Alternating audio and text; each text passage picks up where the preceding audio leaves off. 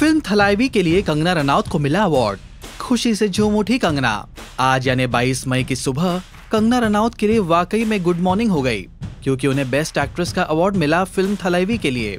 जी हाँ जापान में हुए Osaka Tamil international film festival में कंगना को इस अवार्ड से नवाजा गया।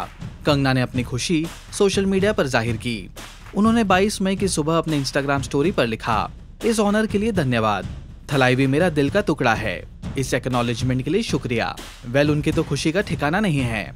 खासकर जब भारत में जितने बॉलीवुड रिलेटेड अवार्ड्स होते हैं, वहाँ कंगना को अवार्ड मिलना एक बहुत रेयर बात है। लेकिन देश उनके काम को रिकॉग्नाइज करती आई है। उन्होंने अपने काम से कई बार नेशनल अवार्ड जीते हैं। और अब इंटरनेशनली भी उनके काम को सराहा जा रहा है। इससे खुशी की बात उनके लिए क्या हो सकती है? वेल कंगना को मिला है बेस्ट एक्ट्रेस का अवार्ड क्या रिएक्शन है आपके? साथ ही बताएँ, आपको उनकी कौन सी फ़िल्में पसंद है? नीचे कमेंट्स करें और देखते रहिए बॉलीवुड नाउ।